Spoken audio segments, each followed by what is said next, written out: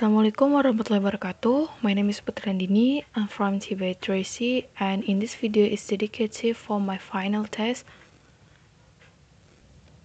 In this video, I will explaining about Ibn Khaldun, about his biography and then about his works of paper and then the last is about his stuffs. Well, let's get started.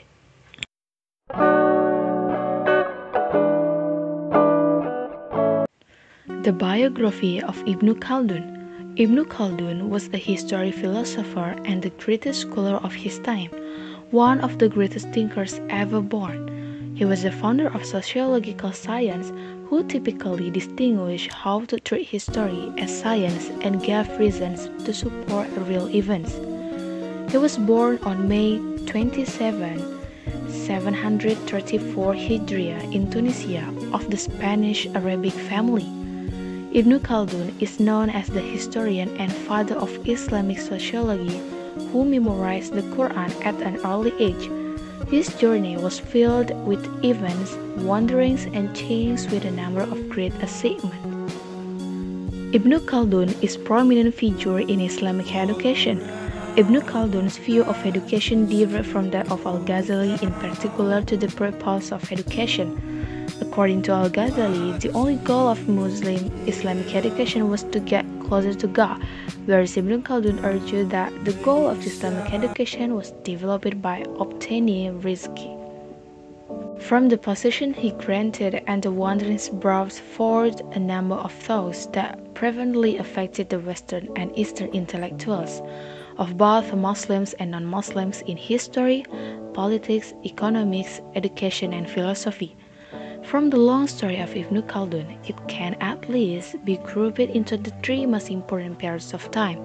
First is the period during which Ibn Khaldun demanded various fields of science, that is, he studied Quran, Tafsir, Hadith, Usul Fiqh, Tawhid, Fiqh, Mazhab Maliki, Nahwu and Sorof, Balaghah, Physics and Mathematics. Second, Ibn Khaldun divided into the political field and several affairs important state position, such as Qadi al-Qudat, the paramount judge. However, for the slander of his political opponents, Ibn Khaldun was sent to prison for a time. Third, Ibn Khaldun gets out of prison. Ibn Khaldun concentrates on research and writing.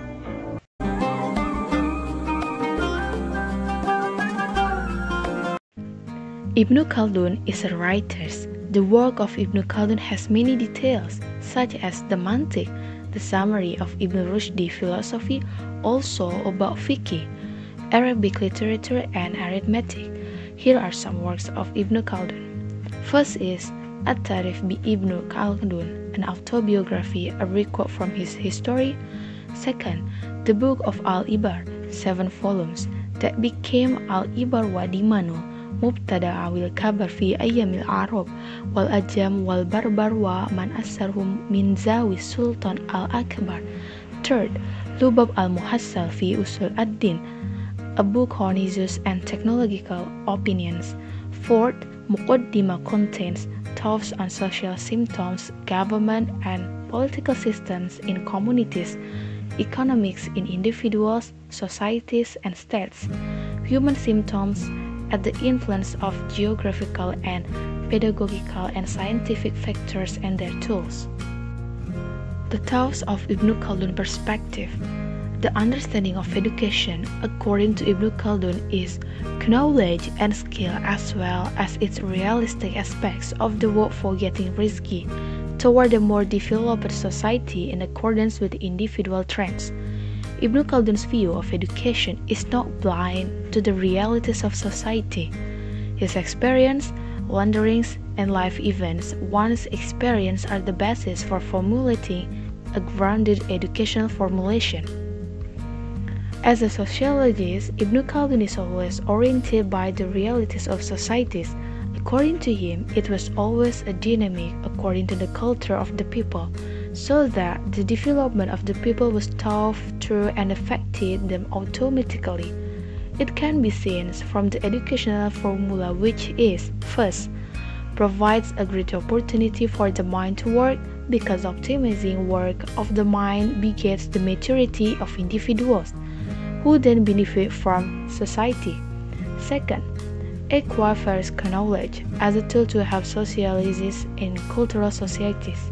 Got a job that was used to earning rizq.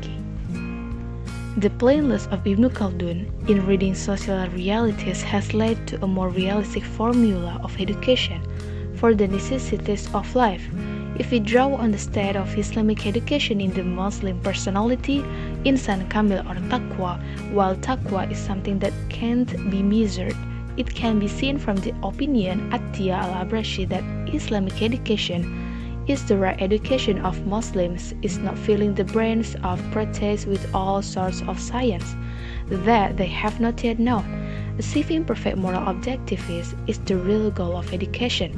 Ibn Khaldun also argued that his quest for knowledge was to enable humans to understand the various aspects of knowledge he viewed as a tool to help him live well in a developed a cultured society.